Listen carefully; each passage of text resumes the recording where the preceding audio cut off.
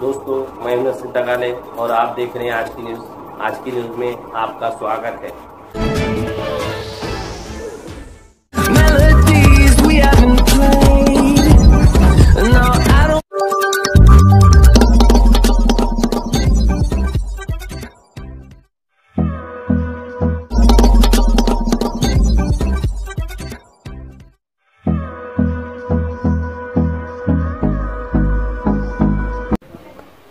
किन्नौर और माहौर विधानसभा 2019 का आखिरी निकाल।